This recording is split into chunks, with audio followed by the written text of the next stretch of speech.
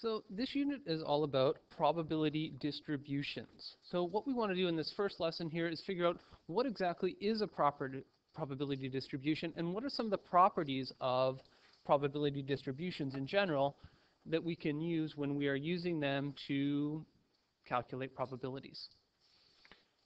So the first question first. Up until now, uh, we've been calculating probabilities, but we've been calculating probabilities for particular outcomes of an experiment. Okay? So for instance, if a six-sided die is rolled, that's our experiment, rolling the die. And we would ask questions like, what is the probability of rolling a four? Well, rolling a four is a particular outcome of this particular experiment. So we would say something like, okay, the probability of rolling a four was the number of ways that we could roll a 4 divided by the number of things in our sample space. And the number of ways we can roll a 4, if we're just rolling one die, is 1. The number of possible rolls is 6. So we would say that the probability of this particular outcome or this particular event is 1 out of 6. A probability distribution takes this kind of calculation and extends it a little bit a probability distribution shows the probability of all of the possible outcomes of an experiment. So let's go back to the same example. A die is rolled. Our probability, we have to think first about what are all of the possible outcomes of this experiment. Well, we could have, um, let's just set this up in a table here. Okay, we could have what the outcomes are the different numbers that are going to show up on the, the top of our die here. So we could have a 1, we could have a 2, we could have a 3, a 4, a 5, or a 6. And for each one of these possible outcomes, let's just label these things as um, these are our possible outcomes.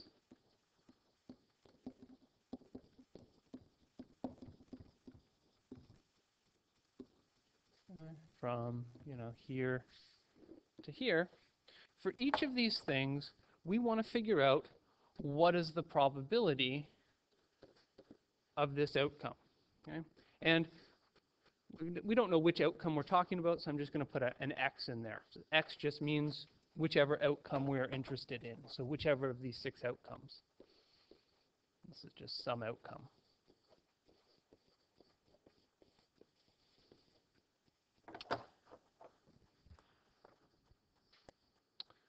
Well, let's see. We already know one of these things. We know the probability of rolling a 4 is 1 sixth. What is the probability of rolling a 1? Hmm, it's also 1 sixth. What is the probability of rolling a 2?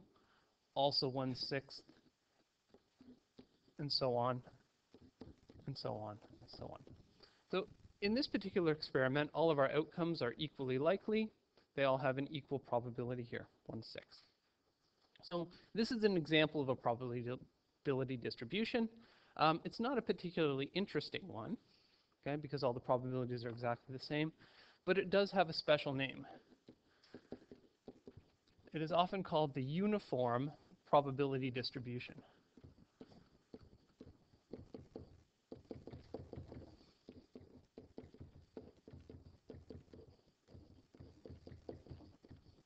Because the probabilities or the individual probabilities are uniform across the distribution.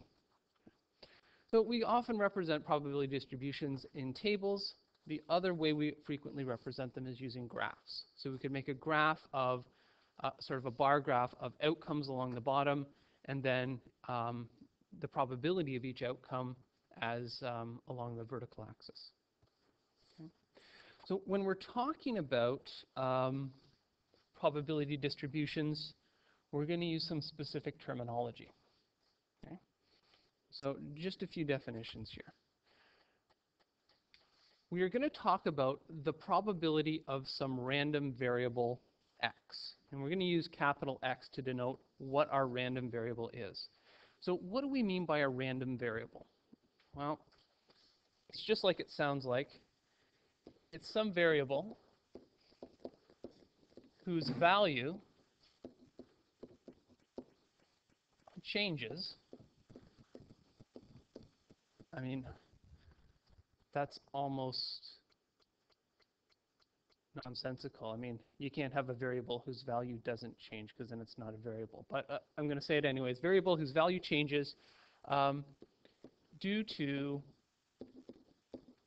we'll say chance. Basically, the value changes randomly. So in our dice experiment, um, our random variable was what was appearing on the top of the dice. It changes based randomly. Okay. Now, we're going to want to be a little bit more specific here. A particular kind of random variable is what is called a discrete random variable. We're also going to use capital X to denote that. This is some random variable that can only take on very specific values. That can only take on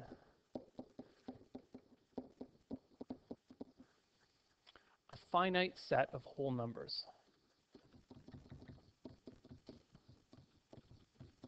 So what do I mean by a finite set? When I say finite, I just mean that it's not infinite, okay? There's only a specific number of numbers that it can take on.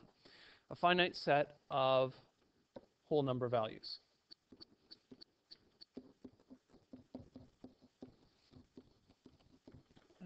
And our dice experiment is another example, uh, is a good example of a discrete random variable.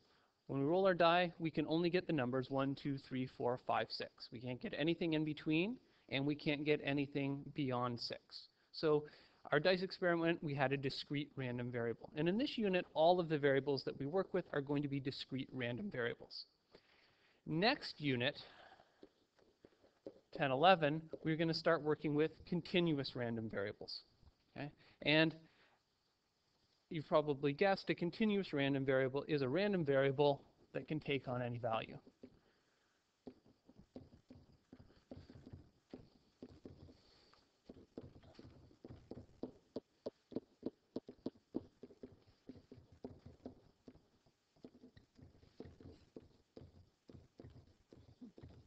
Take on any value.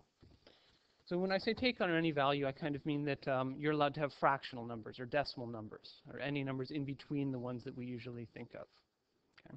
Um, it doesn't always necessarily mean that the, the value of the variable can be as high as you want. Okay? It doesn't mean that, that, it, that it goes off to infinity or something like that. So let's just take a look at another example here um, of a simple experiment. Okay? A coin is flipped four times. We want to construct the probability distribution for the number of heads. So in this experiment, um, what is our discrete random variable that we're going to denote by x? What do we think? Discrete random variable. What quantity here um, is able to change due to random chance? Or what are we looking at finding in this experiment? Yeah. Yeah. Not just heads, but the number of heads. So that is our variable, the number of heads.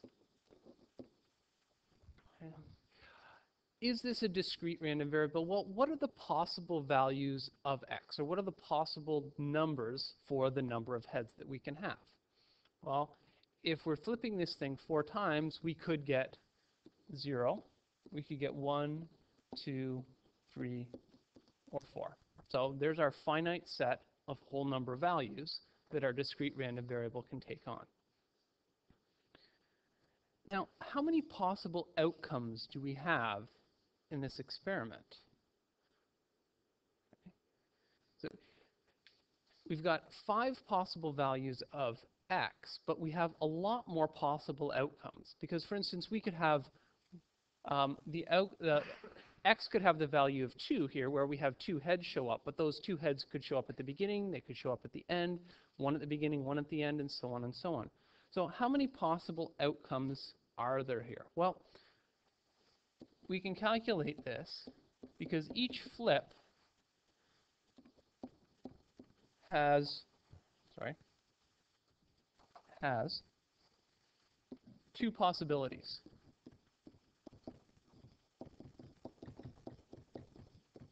Those two possibilities are heads and tails. So if we are flipping four times, the number of total possibilities are 2 times 2 times 2 times 2. We have two possibilities for each flip, or 2 to the 4, or 16. So the total number of possible outcomes is the number of elements in our sample space.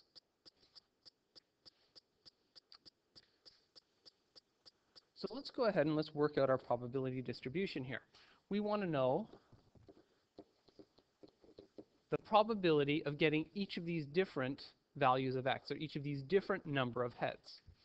So our possible values are 0, 1, 2, 3, 4. And in this bottom row here, we're going to have our probabilities.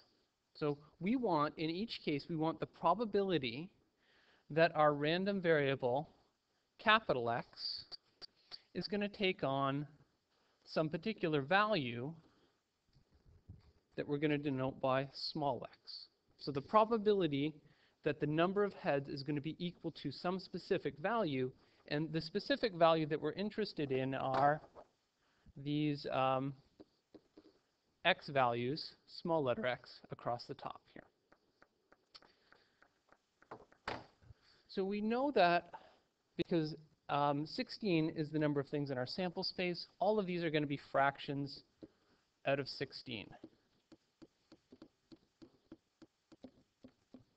And for each one of them, we need to figure out the number of ways that we can get that particular event occurring. So the first one is probably kind of easy here. What is the number of ways that we can get zero heads showing up?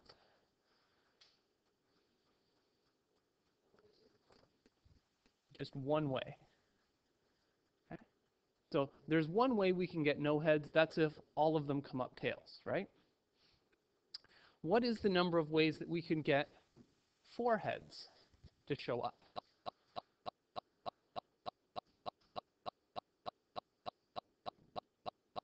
Hunter's giving us a 1. Why is it 1 hunter?